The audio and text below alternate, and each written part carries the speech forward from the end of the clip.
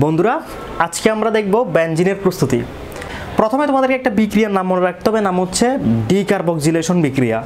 তাহলে দেখো, আমরা বেঞ্জিন প্রস্তুত করতে গিয়ে একটা বিক্রিয়া শিখে ফেলতেছি, নামীয় বিক্রিয়াগুলো। যে বিক্রিয়াগুলোর নাম আছে সেগুলোর তার একটা হচ্ছে ডিকার্বক্সিলেশন বিক্রিয়া।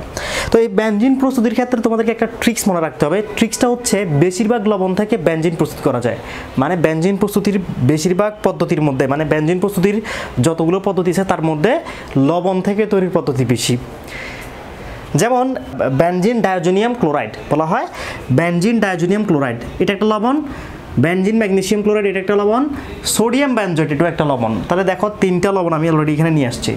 এটাকে বলা হয় বেনজিন ডায়োজোনিয়াম ক্লোরাইড বা বেনজিন ডায়োজোনিয়াম লবণও বলা হয় এটাকে। তো এখানে ক্লোরিনের জায়গায় ব্রোমিন আয়োডিনও থাকতে পারে এই জন্য তাহলে benzene diazonium chloride, benzene magnesium chloride এবং সোডিয়াম ব্যানজয়েটকে আগে তোমরা নিয়ে আসবা, লবণ থেকে তৈরি করব এই জন্য তো আমরা প্রথম লবণটা দেখি, সোডিয়াম ব্যানজয়েড আছে এখানে।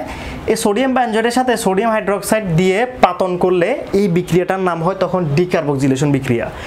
এই বিক্রিয়ায় তৈরি হয় ব্যানজিন এখানে ডিকার্বক্সিলেশন বিক্রিয়া নাম দেওয়ার অর্থ হচ্ছে ডিকার্বক্সিলেশনের অর্থ হচ্ছে যে একটা কার্বন কমে যাওয়া। একটা কার্বন কমে যাওয়া।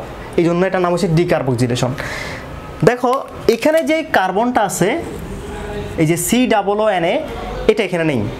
তাহলে একটা কার্বন কমছে। এই জন্য এই নাম, এই বিক্রিয়ার নাম হচ্ছে ডিকার্বক্সিলেশন বিক্রিয়া এবং ডিকার্বক্সিলেশন বিক্রিয়া সোডিয়াম হাইড্রোক্সাইড উপস্থিত থাকে আর সোডিয়াম ব্যানজয়েড উপস্থিত থাকে। তো পাতন করলে কি তৈরি হয়? বেঞ্জিন তৈরি হয়। তো পরীক্ষা এমসিকিউতে আসবে যে ডিকার্বক্সিলেশন প্রক্রিয়া কি তৈরি হয়? বেঞ্জিন তৈরি হয়। ডিকার্বক্সিলেশন বিক্রিয়ায় কি ব্যবহৃত হয়? সোডিয়াম হাইড্রোক্সাইড ব্যবহৃত হয়। এমসিকিউতে আসতে পারে। এবার আমরা চলে যাচ্ছি পরবর্তী বিক্রিয়ায়। এটা হচ্ছে ফ্যানল ফ্যানলের সাথে যদি জিঙ্ক দিয়ে পাতন করা হয় ব্যঞ্জিন তৈরি হয়।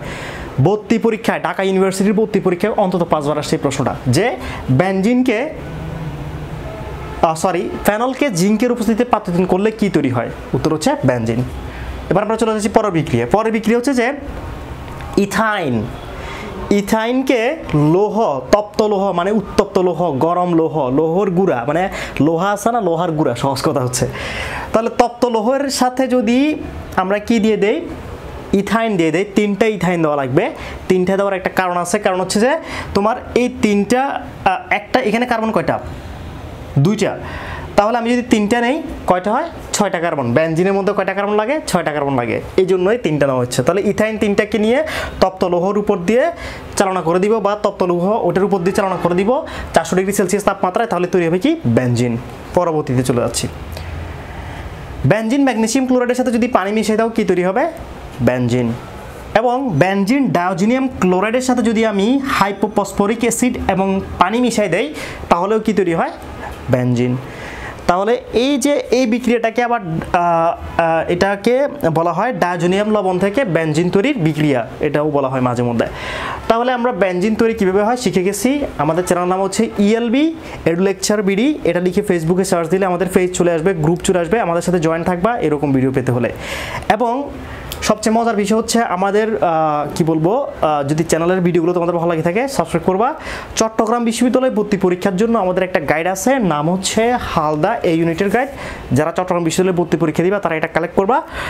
আর হচ্ছে চট্টগ্রামে যারা থাকো, তারা যদি আমাদের প্রাইভেট বেসে আমরা হচ্ছে কোচিং না প্রাইভেট বেসে অ্যাডমিশন টেস্টের জন্য পড়াই, তো আমাদের প্রাইভেট বেসে ভর্তি হতে চাইলে এই নাম্বারে যোগাযোগ করবা।